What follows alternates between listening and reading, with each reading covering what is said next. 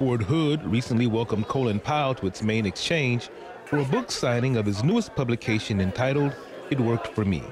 The book was written as a collection of short stories that tells about the former Secretary of State's outlook on life and how to be successful. What audience did you intend to write it? I, I saw some very good philosophy points in there. Was it meant for a military audience or the general public? All of the above.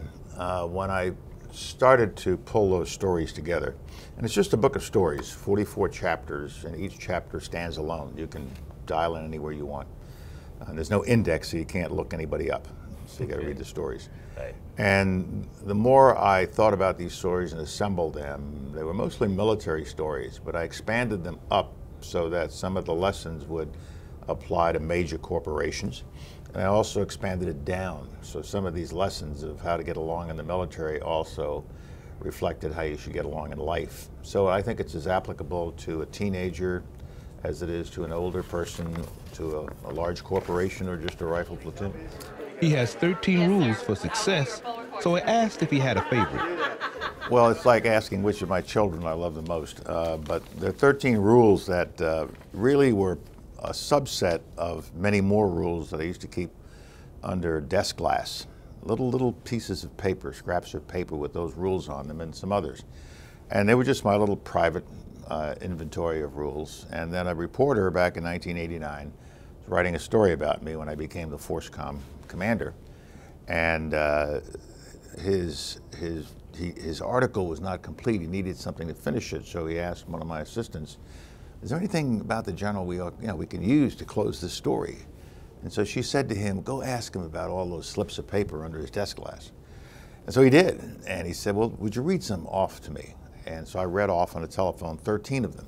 Not all the rest of them were suitable for family publication. And so he printed up those 13, put it in the back of Parade magazine to end the article. That was 23 years ago, and we've been handing out copies of that 13 rule list for 23 years. And uh, nobody ever asked me to explain that list. Mm-hmm. And then finally, more and more people, as I use that list in the corporate world and not just in the Army, uh, I decided that in this new book that I just finished, I ought to explain why those rules are important to me and why they're all important.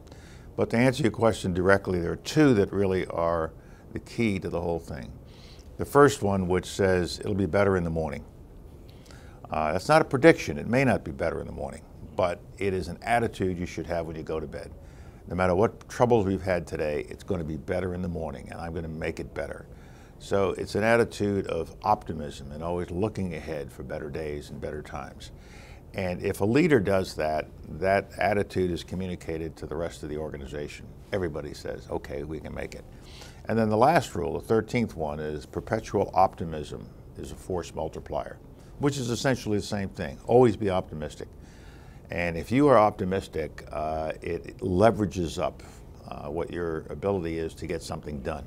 And it gives enthusiasm and confidence to your people. So the whole book really is about leaders and followers, how they get along, how the leaders take care of the followers and the followers take care of the leaders, how you make sure they have a sense of purpose in life and whatever they're doing and always go into any uh, endeavor that you're involved in with confidence and optimism that you can succeed. The retired general has been to the great place before as the Force FORSCOM commander in 1989, and he understands the demands that are placed on Fort Hood soldiers. I'd just like to convey to uh, the entire population of Fort Hood, soldiers who serve here, active and reserve and National Guard who come here to train, and to all the family members, and especially the kids. Uh, my sincere thanks as a former chairman and a former soldier, a retired soldier, for their service to the country. And the last 10 years have been very, very demanding on our force. And in every speech I give, I give praise to the young men and women and their families that we have serving the nation today. They're doing a great job. Uh, they're as great a generation as any other generation we've ever had, and I'm enormously proud of them, and I thank them. Reporting from Fort Hood, Texas, I'm John Miller.